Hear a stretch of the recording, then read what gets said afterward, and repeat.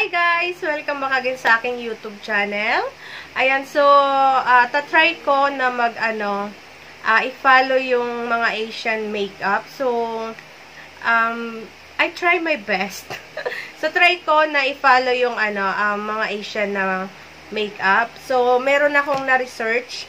Ayan siya. So, ilagay ko na lang siguro sa screen ko yung picture na yan. Then, um, simple lang naman yung kanyang, ano, eyebrows. And then, hindi, not, not eyebrows.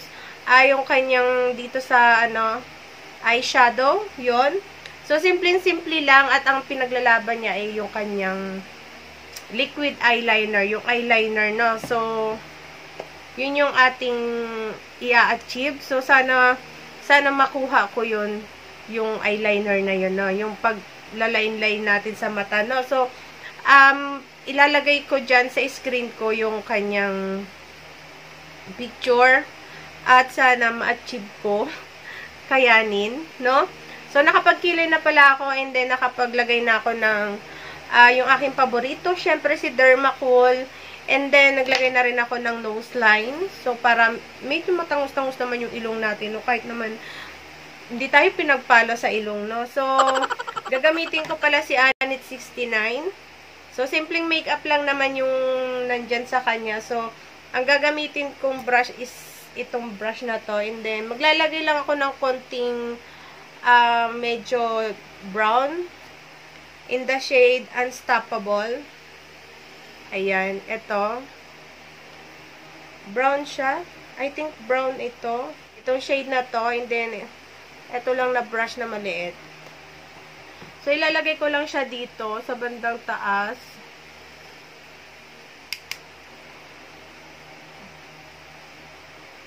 Ayan, dyan lang sa ano na yan. Kumbaga parang ililinya lang natin, no. Parang gagawin ko lang line dyan. Then, i-blend ko lang yan.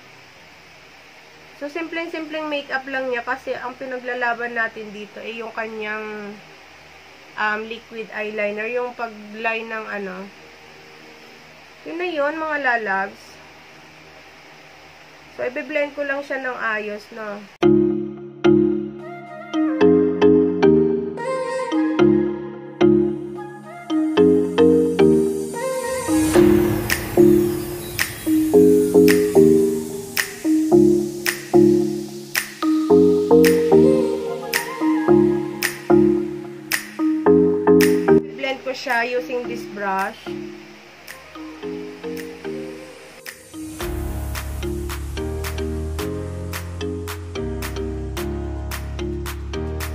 Then, kukuha ko nitong shade na to. Uh, Alien Girl. Ma-pink-pink siya, no? So, lagyan na lang natin medyo ma-pink-pink, no? So, ito natin ilalagay.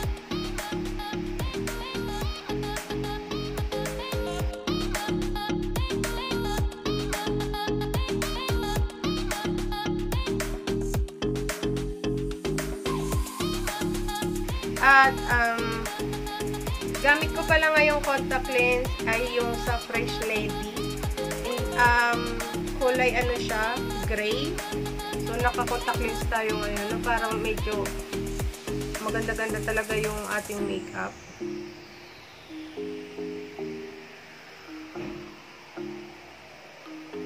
Dagan ko yung pagka-pink-pink niya na parang medyo fresh.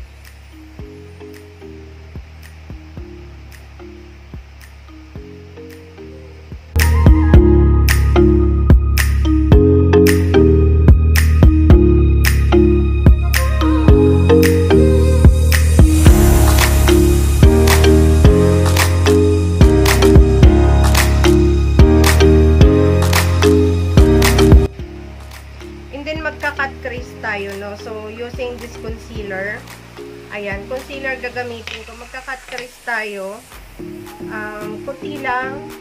Ika-cut crease natin kasi light lang yung makeup niya talaga na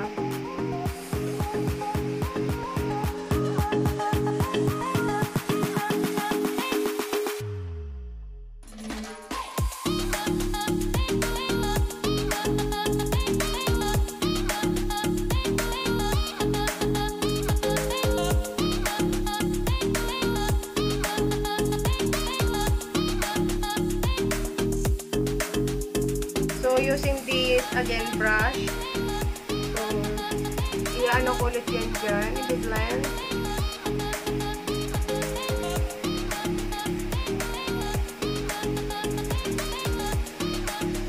Naman ako dito sa Wonders na shade ng Sand Dollar. Ito.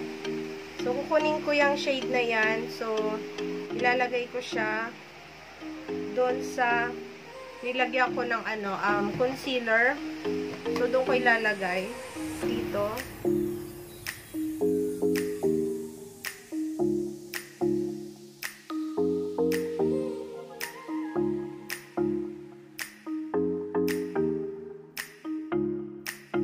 So, ayan. Then, maglalagay na tayo ngayon ng um, liquid eyeliner. So, gagamitin kong shade, syempre, black. This is it. So, gagawin ko muna dyan, uh, using this brush, yung pangkilay na brush. Um, lalagyan ko muna ng line para talagang um, maganda yung hugis ng ating eyeliner.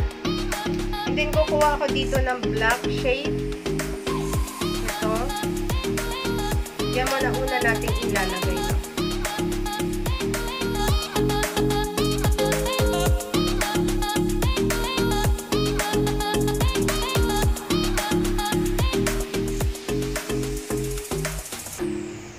Natin. I-check natin kung tama yung ginagawa ko, no? Check natin kung tama yung ginagawa natin para alam natin. So, check ko lang. Okay.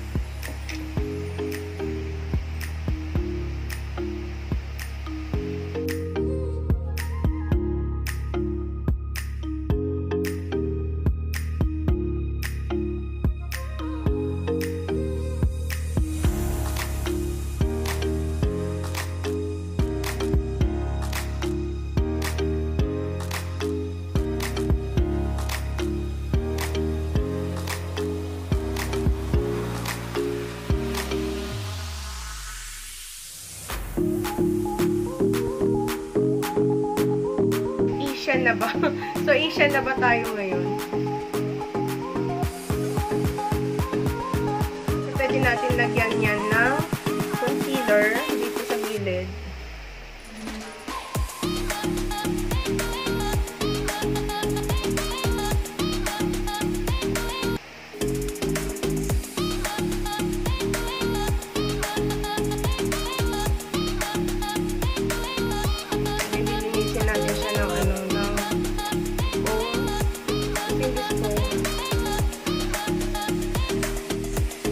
maglalagay din ako sa lower lashes ko. Yung medyo pink na lang din yung ilalagay natin. Kasi, yung sa kanya kasi wala akong makitang nilagay niya sa ano. Ah, no, meron. Yung brown. So, ilagay natin yung brown na nilagay ko kanina, yung unstoppable. So, ilalagay ko lang sa lower lashes.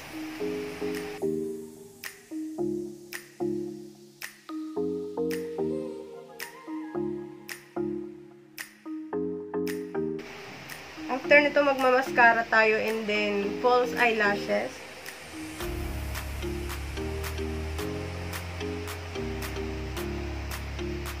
So, maglalagay tayo ng eyeliner using this black uh, Marky Kate and Ashley na black na eyeliner. So, lagay tayo dito sa lower lashes.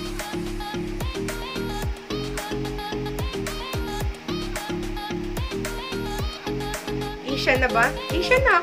Asian na. Asian na ba? So, maglalagay ako ng ano, uh, mascara uh, using this Maybelline na waterproof yun. Waterproof. Ang hirap kuhanin ng ano, ng buho ko dito kasi ang iksi-iksi niya, no? Ang iksi niya talaga.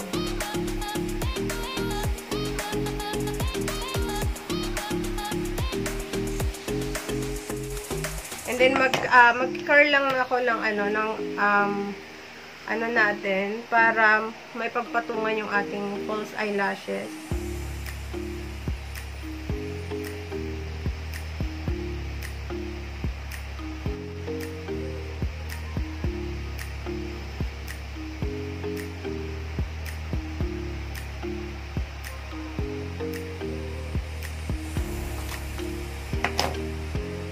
So, using these false eyelashes, Hindi ko na alam kung anong name nito. Ah, Mrs.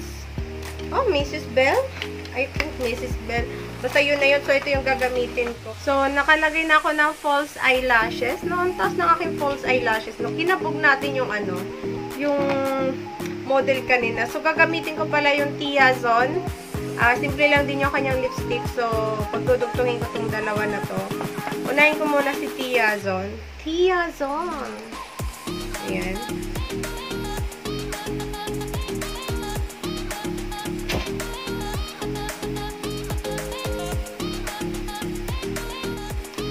So, using this, um, Sassy Lady itong gamit ko, no, na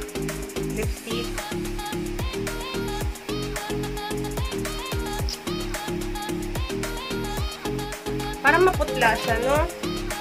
So, dagdagan na lang natin itong Tiazon. So, putungan na lang ulit ng Tiazon.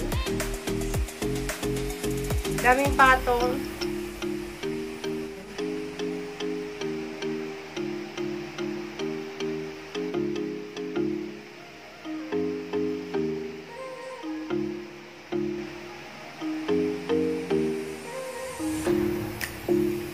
Then, gagamit ako ng curl line na brighten stick. So, ilalagay ko siya sa nose ko.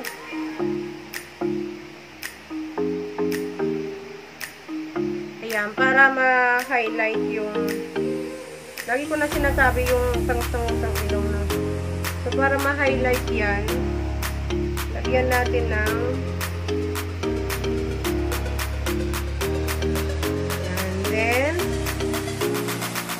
lalagyan ko din siya ng highlighter. No? Mag-highlighter tayo dyan.